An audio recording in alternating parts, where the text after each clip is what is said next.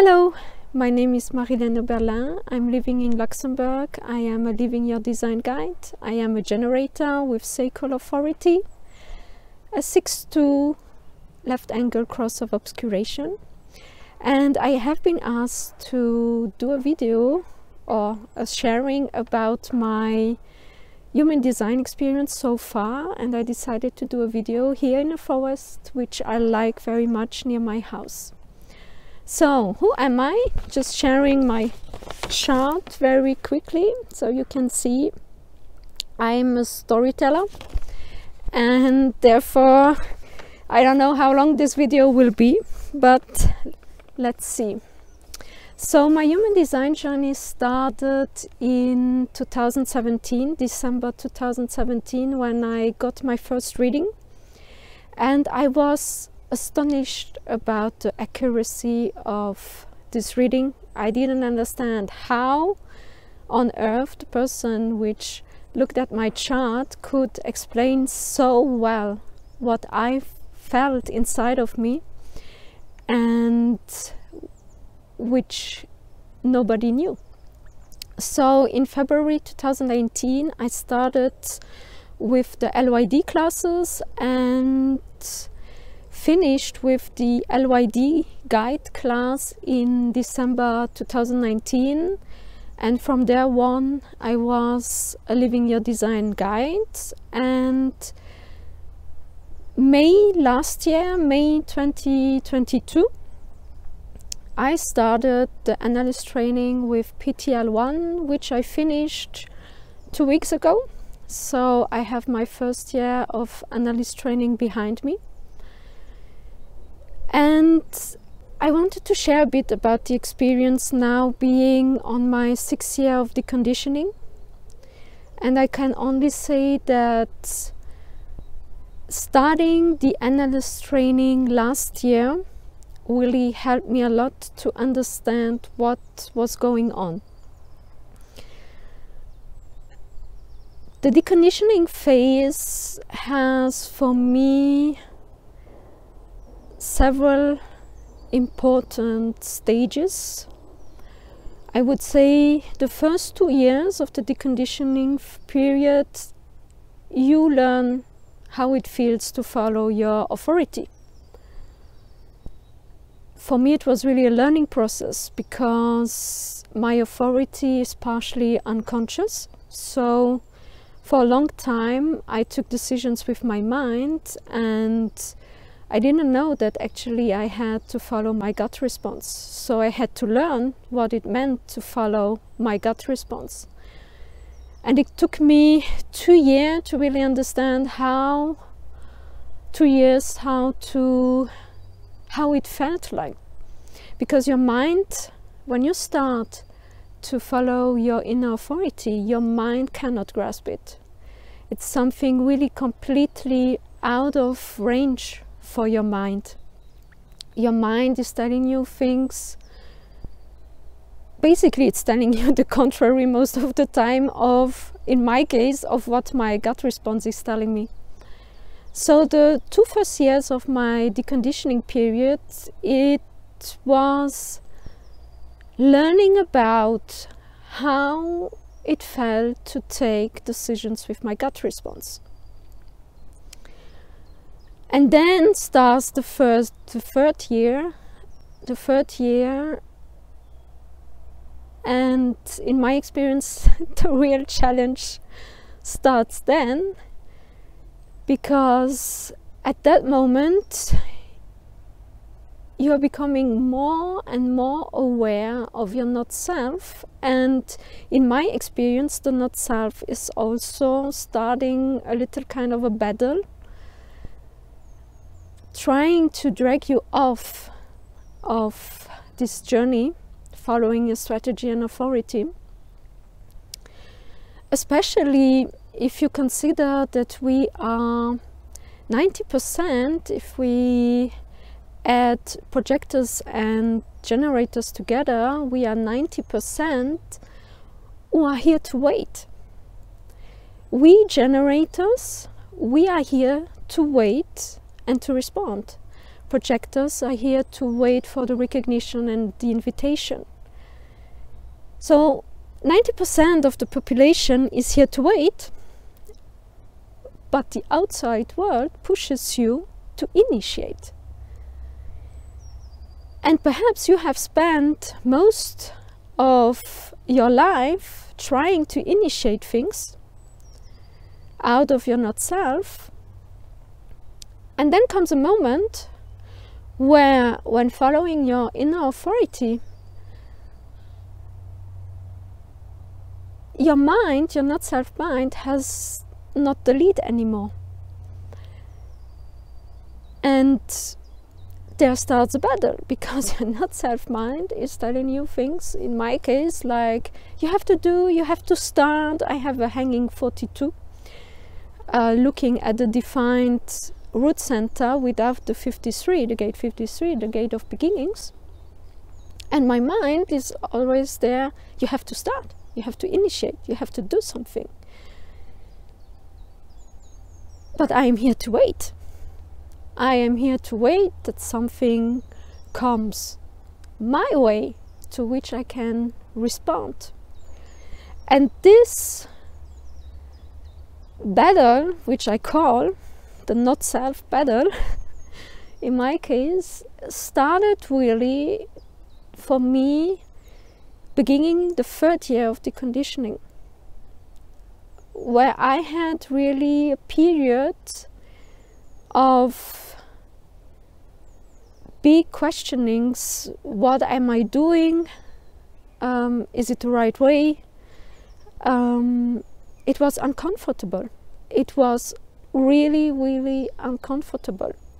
So that was the third and fourth year of the conditioning. Then I started my PTL 1 training. And I must say that it was so helpful to have gone through these first years, the first middle of the seven years of the conditioning before starting my PTL, my analyst training, because I could go into classes and asking questions about what is happening to me. Why am I feeling so lost sometimes? And understanding that actually it was just a part of me which is letting go of my not self. Because human design is a journey back into your body. And if you have started the journey of human design, perhaps you are a person who has been a lot in his mind for most of the part of his life. It was my case. My only conscious channel is the 1156. So I basically think that I'm a mental projector.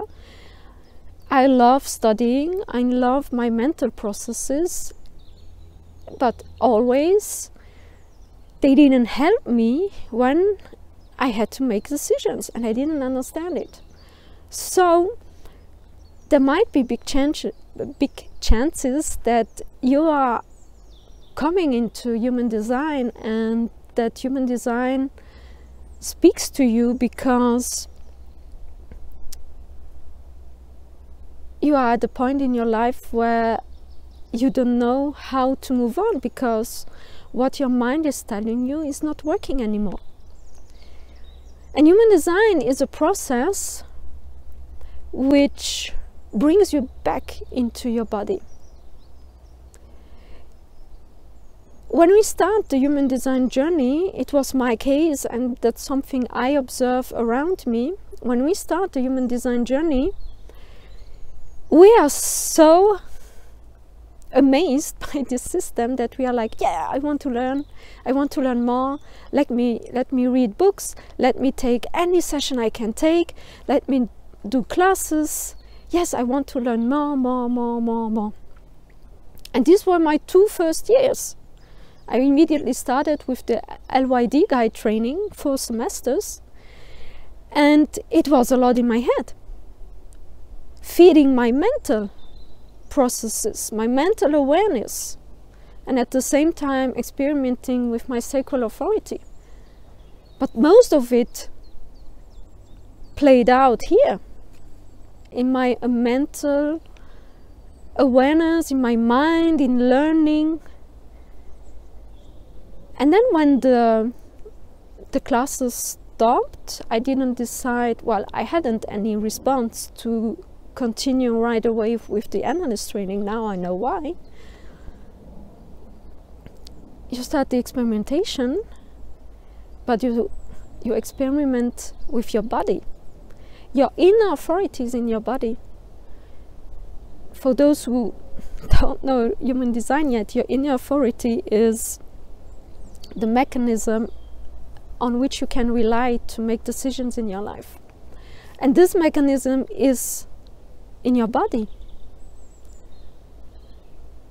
So even if at the beginning I grasp this system with learning, with my mind, with why I know I know that this, I know that, it's amazing, I am a 6-2, I am a role model, I am a storyteller, I have the 360, I'm here to mutate, that's amazing, I know my purpose in life. No. I didn't know because the journey started really after the LYD guide training when I was sitting alone and knowing that I couldn't initiate. What does that mean? not initiating. Not initiating means that you wait for a generator. You wait that something comes. And when there's no question, there's nothing to respond to. You have still your daily business, like what I'm going to eat. You open the fridge and then you respond to something which is in your fridge. But for big decisions in your life, where I'm going to live, where what I'm going to do uh, for a living. If there are no questions, if nothing crosses your aura, you are sitting at home only knowing that you have to wait and to respond. And your mind at the same time continues to be there. You are deconditioning your not self mind.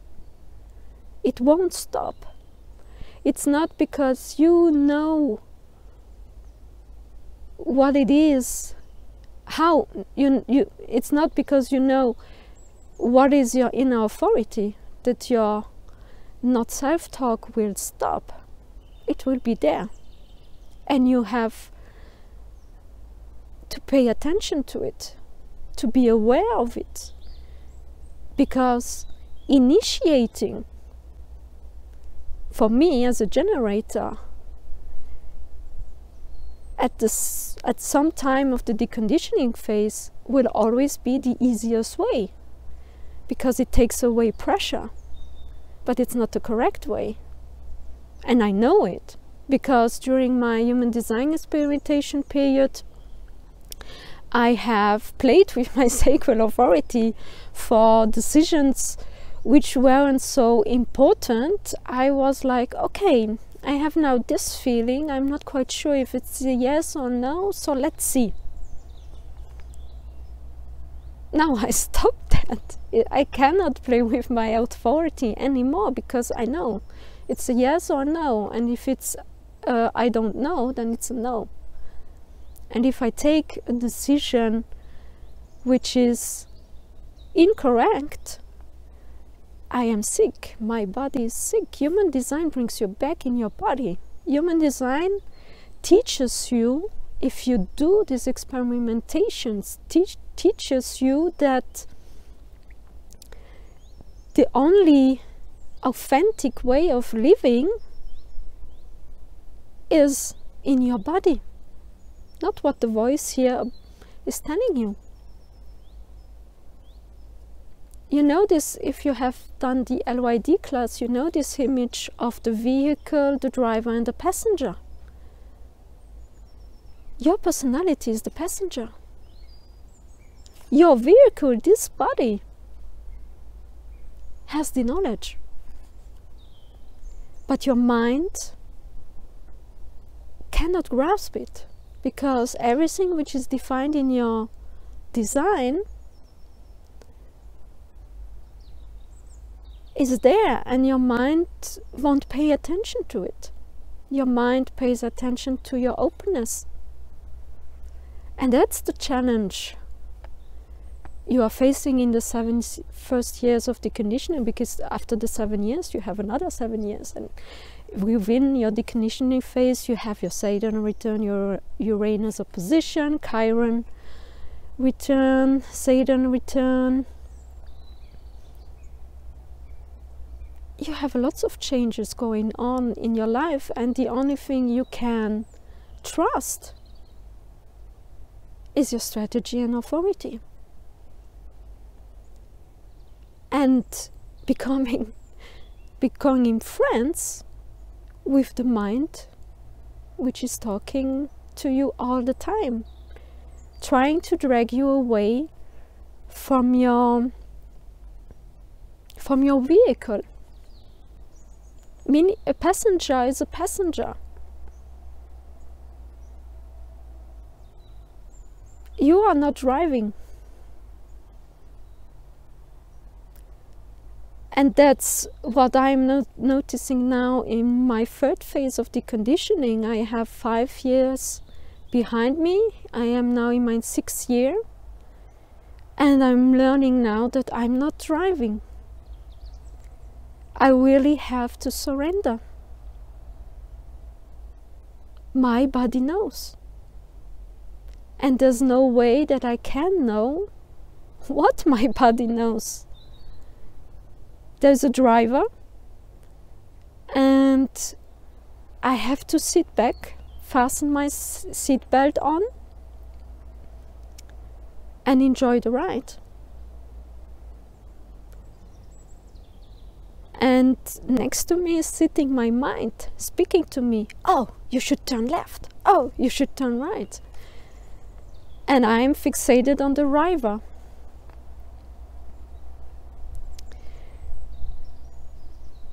therefore i was so thankful that i could start my ptl one training when I was starting this deconditioning phase, this phase in my deconditioning phase, because I had support. And I could understand where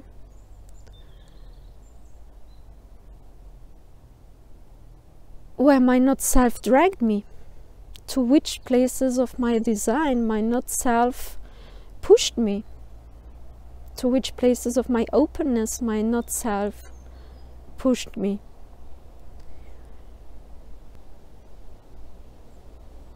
Human design is really an experimentation, and I can only encourage people to do the trainings. No matter if you want to become a prof professional analyst or if it's only for yourself. the important thing is that you listen to your inner authority. If you feel asked to do the trainings, if you feel invited to do the trainings, if it's correct for you. Because there's so much power in this knowledge. When you take it really as a knowledge, to understand the mystery of this life.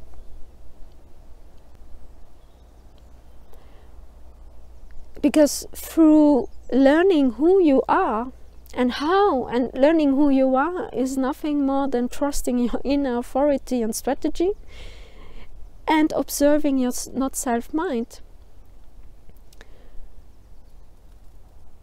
Learning who you are will bring you or observing who you are will bring you self-love. It will bring you self-love because you will start to see the wonder which is residing into your vehicle. You will start to see, to experiment, you will start to experiment that actually there's a beauty in your inner authority. that your inner authority is full of satisfaction, success, peace, surprise, and that when you start to, to honor your inner authority, suddenly you drag into your life things you couldn't imagine before.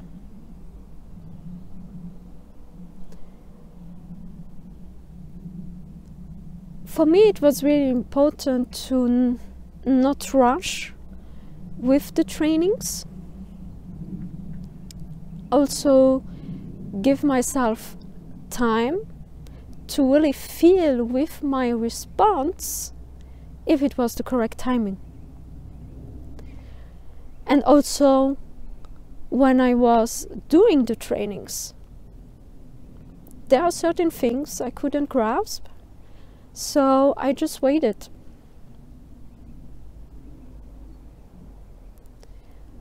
I really encourage you to, if it's correct for you, if you feel uh, invited to to do the official trainings of human design at your own pace.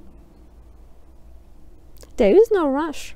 Your mind will always tell you there is a rush, you have to hurry. There is no rush. There's a perfect timing for everything.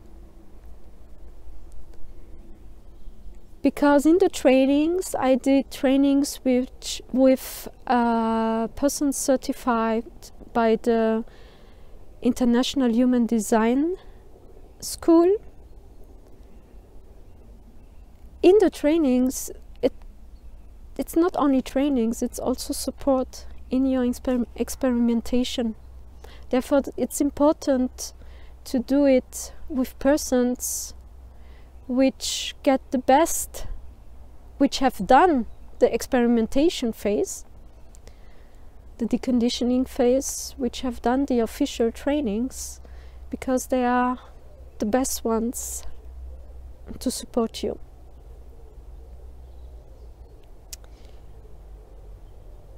I think I am clear now. I have said everything I wanted to say about my experience in human design, with human design.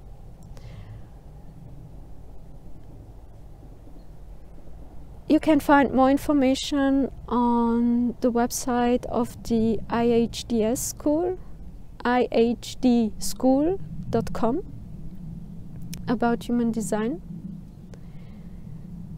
And I hope that this video was knowledgeable for you.